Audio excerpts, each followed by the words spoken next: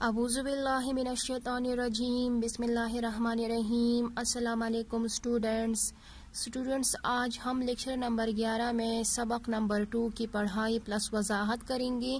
لیکن سٹوڈنٹس سب سے پہلے آپ لوگ رب نوٹ بک نکالیں اور اپنے ساتھ رب نوٹ بک میں اسلامیات کا ہوم ورک نوٹ کر لیں۔ سٹوڈنٹس اسلامیات میں آج آپ لوگوں کا جو ہوم ورک ہے، وہ تحریری ہے۔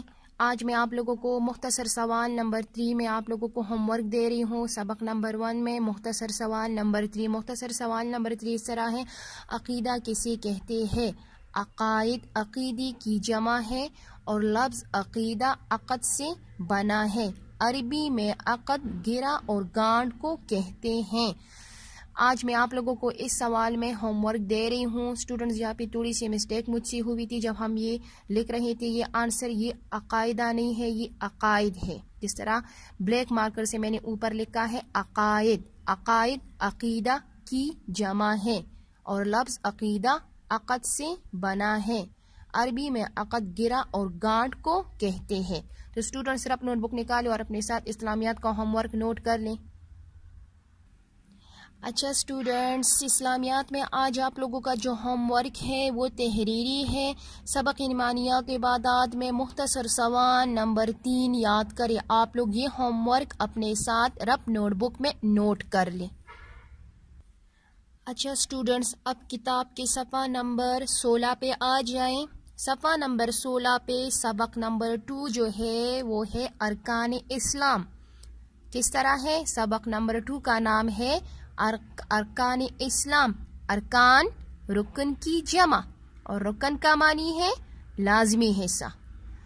ارکان کو انڈر لائن کر لے، ارکان کے اوپر لکھ کے رکن کی جمع، اور پھر رکن کے اوپر لکھ کے لازمی حصہ۔ ساتھ میں آپ لوگ تاریخ بھی لکھیں آج گیارہ اپریل ہے، اور اسلامی مہینہ جو ہے وہ شابان کا مہینہ ہے۔ شابان میں آج سترہ شابان ہے، اور چودہ سو اکتالیس ہجری ہے۔ اسٹوڈنٹس اس سبق میں ارکان اسلام کے بارے میں آپ لوگ جان سکیں گے اور ارکان اسلام کی اہمیت کا احساس آپ لوگوں کے دلوں میں پیدا ہو سکے تاکہ ارکان اسلام کی اہمیت کا جو احساس ہے وہ آپ لوگوں کے دلوں میں پیدا ہو سکے اور ارکان اسلام کو سمجھ کر ان پر عمل پیرا ہو سکے۔ اسٹوڈینٹس سب سے پہلے آپ لوگ فرسٹ نمبر لائن پہ فنگر رکھ دیں۔ فرسٹ نمبر لائن ہے، اسلام ہمارا دین ہے۔ ہمارے مذہب مذہب کا کیا نام ہے؟ اسلام۔ دین کا مطلب ہے مذہب۔ اور ہم مسلمان ہیں یعنی ہم سب مسلمان ہیں۔ یعنی اسلام کی اصولوں کے مطابق زندگی گزارنے والے کو کیا کہتے ہیں؟ اس کو مسلمان کہتے ہیں۔ یہ ایک سچا دین ہے۔ کیا ہے؟ یہ ایک سچا دین ہے۔ سچا دین یعنی ہمارا جو مذہب ہے مذہب ہے اسلام، وہ ایک سچا دین ہے۔ دنیا اور آہرت میں کامیابی کے لیے، دیکھیں۔ دنیا اور آہرت میں کامیابی کے لیے جو کام ضروری ہے، وہ ہمارا دین ہمیں سکھاتا ہے۔ یعنی دنیا اور آہرت میں کامیابی کے لیے جو بھی کام ضروری ہے، وہ ہمارا دین، ہمارا مذہب، اسلام ہمیں سکھاتا ہے۔ اور جو کام دنیا میں، دنیا اور آہرت میں ناکامی کا سبب بنتے ہیں ان سے روکتا ہے۔ یعنی جن کاموں کی وجہ سے ہم دنیا میں کامیاب نہیں ہوتے اور آہرت کی بات کی جو زندگی ہے، مرنے کے بعد کی جو زندگی ہے، اس میں بھی کام ناکامی کا سبب بنتے ہیں۔ تو وہ اسلام ہمارا جو دین ہے، ہمارا جو مذہب ہے، اس سے ہمیں روکتا ہے۔ پھر نیکسٹ پیراگراف کی طرف دیکھیں ارکان رکن کی جمع ہے۔ ارکان رکن کی کیا ہے؟ جمع ہے۔ اور رکن کسی چیز کے اس لازمی حصے کو کہتے ہیں، جس کے بغیر وہ چیز قائم نہ ہو سکے۔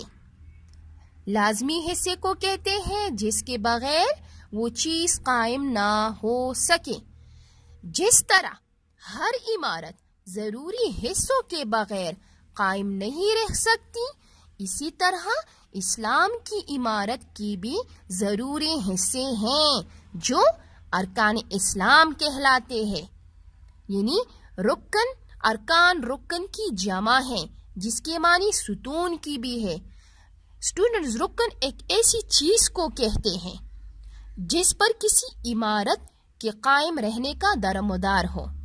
یہاں ارکان اسلام سے مراد دین کے وہ بنیادی اصول اور اعمال ہیں جن پر اسلام کی پوری عمارت قائم ہے۔ یعنی ہمارے پیارے نبی کریم صلی اللہ علیہ وآلہ وسلم نے جس طرح ارشاد فرمایا ہے کہ اسلام کی عمارت پانچ ستونوں پر اٹھائی گئی ہے۔ وہ پانچ ستون کیا ہے؟ ایک کلمہ شہادت ہے، دوسرا نماز ہے، تیسرا روزہ، چوتھا زکوٰۃ اور پانچواں رکن۔ حج ہے۔ یعنی سب سے پہلے اس بات کی شہادت کہ اللہ کے سوا کوئی معبود نہیں، اور یہ کہ حضرت محمد صلی اللہ علیہ وآلہ وسلم اللہ کے بندے اور اس کے آہری رسول ہیں۔ اور اسی طرح نماز قائم کرنا، زکوٰۃ دینا، حج کرنا اور رمضان کے روزے رکھنا۔ ارکان اسلام میں سب سے اہم رکن جو ہے وہ کلمہ شہادت ہے۔ اہم رکن کون سا ہے؟ پہلا رکن جو ہے وہ کیا ہے؟ کلمہ شہادت، جس کے الفاظ اس طرح ہے نا۔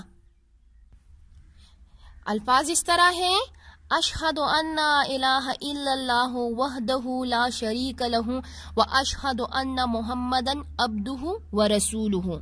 یعنی اس کا مطلب کیا ہے؟ میں گواہی دیتا ہوں کہ اللہ کے سوا کوئی معبود نہیں۔ وہ یکتا ہے یعنی وہ اکیلا ہے۔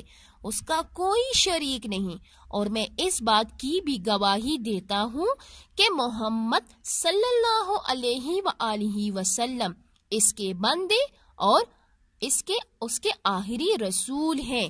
یعنی اسٹوڈنٹس اللہ کو ایک ماننے کا عقیدہ اسلام میں بنیادی حیثیت کا حامل ہے، جس کے بغیر کوئی بھی انسان مکمل مسلمان نہیں ہو سکتا۔ عقیدے کا مطلب یہ ہے کہ ایک چیز پر انسان کا یقین جو ہے وہ اتنا پختہ ہو جائے کہ اس میں شک و شبی کی کوئی گنجائش باقی نہ رہے۔ انسانی زندگی میں عقیدے کی اہمیت اور اس کے اثرات کا تذکرہ توحید میں تفصیل سے ہو چکا ہے۔ عقیدہ توحید میں تفصیل سے ہو چکا ہے۔ جس طرح میں نے پہلے بتایا نا، جس سے ظاہر ہوتا ہے کہ عقیدہ توحید انسان کو بے نیازی کی دولت سے مالا مال کر دیتا ہے۔ یعنی عقیدہ توحید انسان کو لالچ، حسد اور بزدلی سے نجات دلاتا ہے اور انسان کے دل میں یہ پختہ باتیں باتیں پیدا کرتا ہے کہ صرف ایک اللہ ہی خالق اور رازق ہے۔ خالق پیدا کرنے والا، رازق رزق دینے والا۔ وہ جسے چاہتا ہے زیادہ دیتا ہے اور جسے چاہتا ہے کم دیتا ہے۔ اسی طرح عزت و ذلت اور حکومت حکومت و دولت اسی کی ہاتھ میں ہے اور اللہ تعالیٰ کے سوا کوئی کسی کو نہ نقصان پہنچا سکتا ہے اور نہ فائدہ پہنچا فائدہ۔ اس کے ساتھ ایک اللہ کو ماننے کا عقیدہ انسان کو اس کے قانون کا پابند بناتا ہے۔ کس کے قانون کا؟ اللہ تعالیٰ کے قانون کا۔ یہ یقین کہ اللہ تعالیٰ انسان کے تمام چھوٹے بڑے ظاہر پوشیدہ اعمال سے واقف ہے یعنی خبردار ہے۔ اسے غلط کاری اور گناہگاری سے محفوظ رکھتا ہے اور اسے معاشرے کا ایک مفید اور ذمہ دار شہری بناتا ہے۔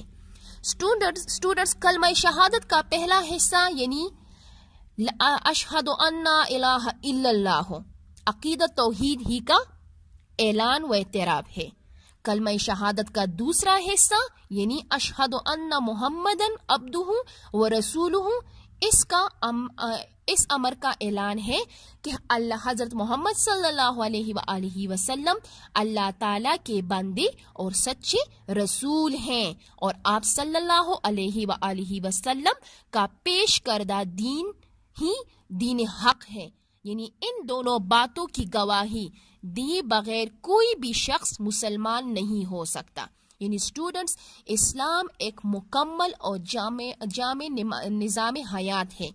یعنی ارکان اسلام کے پہلے اور سب سے اہم جز نماز کے بارے میں اللہ تعالیٰ کے ارشادات میں سے ایک ارشاد یہ بھی ہے جس طرح قرآن مجید میں ہے نا، قائم قائم رکھو نماز اور مت مت ہو شرک کرنے والوں میں۔ اسی طرح نبی کریم صلی اللہ علیہ وآلہ وسلم کے بہت سی احادیث نماز کی تاکید پر مشتمل ہے جن میں سے ایک یہ بھی ہے، دین کی اصل بنیاد خدا اور رسول کے سامنے سر تسلیم ہم کر دینا ہے۔ اور اس عمارت کا ستون کیا ہے؟ اس عمارت کا ستون نماز ہے۔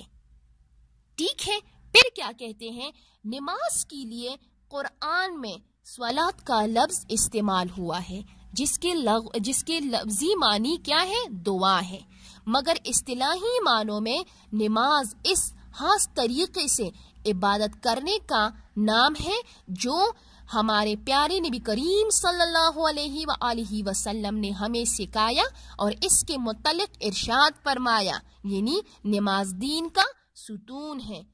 تو اسٹوڈنٹ چونکہ چونکہ نماز دینی تربیت کا ایک اہم ترین حصہ ہے، اس لیے ہر امت پر فرض رہی ہے۔ اور تمام انبیاء علیہ السلام اپنی امتوں کو نماز کی تلقین کرتے رہیں قرآن مجید میں بھی نماز پڑھنے کی بار بار تلقین کی گئی ہے۔ یہ ارکان اسلام کا دوسرا رکن جو ہے، وہ نماز ہے۔ قرآن بتاتا ہے کہ نماز قائم کرنے والے کامیابی پائیں گے۔ اور اسے ترک کرنے والے یعنی اسے چھوڑنے والے ذلت و رسوائی کا شکار ہوں گے۔ ایک آیات میں موجود ہے یعنی ایک آیات میں بھی آیا ہے کہ جب غذاب کے فرشتے جہنمیوں سے غذاب پانی کی وجہ دریافت کریں گے، تو وہ اپنے جہنم میں پینکنے جانے کی وجہ یہ بتائیں گی۔ کون سی وجہ بتائیں گی؟ ہم نماز پڑھنے والوں میں سے ناتے سمجھ آ رہی ہے نا؟ ہم نماز پڑھنے والوں میں سے ناتے یہ وجہ تھی۔ اس وجہ، اس کی وجہ سے وہ لوگ جہنم جو ہے جہنمی جو ہے وہ جہنم میں جائیں گے۔ جو لوگ نماز نہیں پڑھتے۔ اسی طرح دل و زبان سے اللہ کو معبود تسلیم کرنے کے بعد اس کے سب سے اہم حکم نماز کی ادائیگی سے انحراف، ایک طرح سے اللہ تعالیٰ کو معبود ماننے سے انکار کے برابر ہے یعنی جو لوگ نماز نہیں پڑھتے۔ تو ایک طرح سے یہ اللہ تعالیٰ کو معبود ماننے سے انکار کے برابر ہے۔ اس لیے نبی کریم صلی اللہ علیہ وآلہ وسلم نے فرمایا، جس نے جان بوجھ کر نماز چھوڑی، اس نے کافرانہ روش اختیار کی۔ اسٹوڈنٹس چونکہ نماز جو ہے قرب خداوندی کا سب سے مؤثر وسیلہ ہے جس طرح ہمارے پیارے نبی کریم صلی اللہ علیہ وآلہ وسلم کا ارشاد ہے، جب تم میں سے کوئی نماز پڑھتا ہے تو گویا اپنے رب سے چھپ کے چھپ کے بات چیت کرتا ہے۔ اسی اہمیت کے پیش نظر سٹوڈنٹس قیامت کے دن سب سے پہلے نماز کا حساب ہوگا، جس طرح ہمارے پیارے نبی کریم صلی اللہ علیہ وآلہ وسلم نے فرمایا، قیامت کے روز سب سے پہلے نماز کے متعلق سوال کیا جائے گا۔ اسی طرح سٹوڈنٹس نماز پڑھنے کے بہت سے فوائد ہیں یعنی بن اللہ تعالیٰ کے سامنے بندہ بندی کی کی دن کی دن میں پانچ بار حاضری۔ اسی اس اس کے دل میں یہ احساس تازہ رکھتی ہے کہ وہ صرف اور صرف اللہ کا بندہ ہے۔ بندگی کا یہ احساس متواتر نماز پڑھنے سے ایک مسلمان کی فطرت ثانیہ بن جاتا ہے اور اس کی پوری زندگی تفصیل تفصیل احکام الہی کا عملی نمونہ بن جاتی ہے۔ سمجھ آ رہی ہے نا؟ یعنی قرآن و حدیث میں نماز کی بہت زیادہ فضیلت بیان ہوئی ہے۔ یعنی اسٹوڈنٹس دن میں پانچ مرتبہ قرب الہی کا احساس مسلمان کو یہ یقین دلاتا ہے کہ اللہ تعالیٰ ہر وقت اس کے ساتھ ہے، وہ کبھی خود کو تنہا محسوس نہیں کرتا۔ اللہ تعالیٰ کے ساتھ ہونے کا احساس اسی گناہ کے کاموں سے روکتا ہے اور اس کے دل سے ہر قسم کا خوف اور غم دور کرتا ہے۔